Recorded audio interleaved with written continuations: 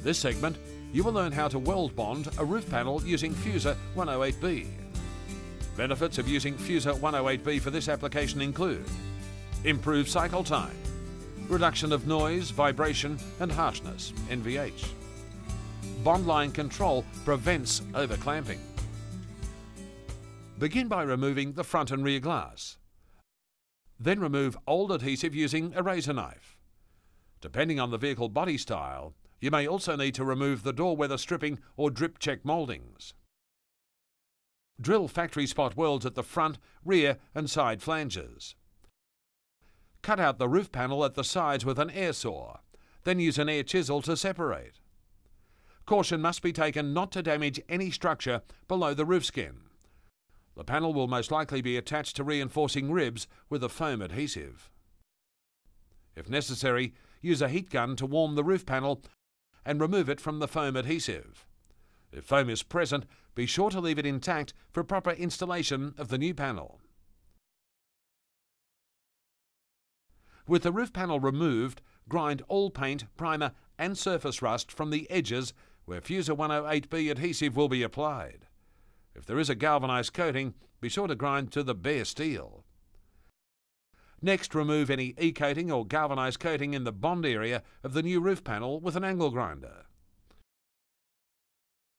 The bond area is the portion of the new panel that will contact the roof structure mating flanges. Prefit the new panel to ensure proper fit. Prior to applying the adhesive, clean the bond surfaces of dust and debris using compressed air. Now you are ready to install the new roof using Fusor 108B. It is important to note that prior to using any two-component adhesive, seam sealer or foam, dispense a small amount of material from the cartridge to ensure an even flow of both components. Then attach a mixing tip and dispense a small amount of material until uniformly mixed. This is a key step in all repairs. If foam is present, Begin by applying Fusor Factory Match Urethane Sealer Adhesive stock number 800EZ to the reinforcing bows. Fusor 800EZ has an open time of 1 to 2 hours, so you'll have plenty of time to complete the roof installation. Next, apply a 10 to 12 mm bead of adhesive to all prepared edges. Depending on your fit situation, additional adhesive may be needed in certain areas. Keep in mind that Fusor 108B adhesive has a 40 to 50 minute open time at 21 degrees Celsius. Higher or lower temperatures will alter work times for adhesives. Properly position the new roof panel. Once positioned, do not pull away from the vehicle. If repositioning is needed, slide the roof panel. This maintains proper contact between the roof panel and flanges. Clamp evenly and tightly with insulated clamps. The glass beads in the adhesive will prevent you from over-clamping the bond line. Apply screws in hard to clamp areas.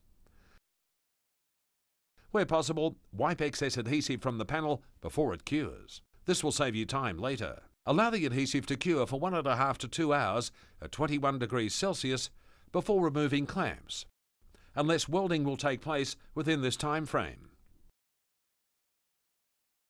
Clamps may be removed immediately after the panel is welded. Expect the adhesive to be a little tacky on the surface, as this is a normal property of the adhesive. Now we are ready to weld bond.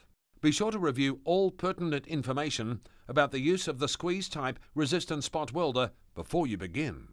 Consult the welder manufacturer for the approximate recommended settings for weld bonding. You may begin welding immediately, any time during the adhesive cure process and or when the adhesive is fully cured. Welder settings will vary when welding through wet versus cured adhesive. If a test sample through cured adhesive was not made, use the welder manufacturer's recommended settings for welding through cured adhesive. Once the first weld is made, continue welding, maintaining the original spot weld spacing. Weld should be placed as close as possible to the original spot weld location without overlapping the original weld site. Do not place a new spot weld directly over the original weld location. Remove the clamps and grind down any remaining adhesive from the cosmetic repair area with a DA sander or angle grinder.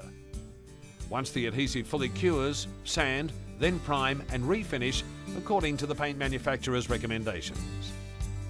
This completes the weld bonding roof panel procedure using Fusor 108B. For more information, visit www.lord.com or contact your local Fusor distributor.